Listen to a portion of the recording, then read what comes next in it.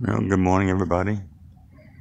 I'm out here looking at the sky like you should be doing because we need to pay attention. Stuff is going on.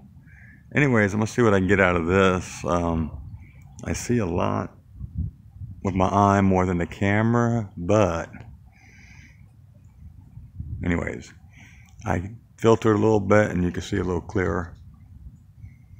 But I'm really interested in that. What is that?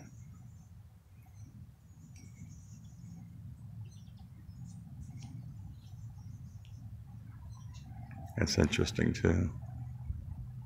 I don't know, you know. Okay, green skies are coming up in about a half hour. And I'm going to put this up in a little bit, maybe after the green screen or green skies. Green screen. I wish I knew how to use green screen. I would put myself there standing and talking on top of the house. Anyways, good morning. It's Saturday. You'll see this in a bit.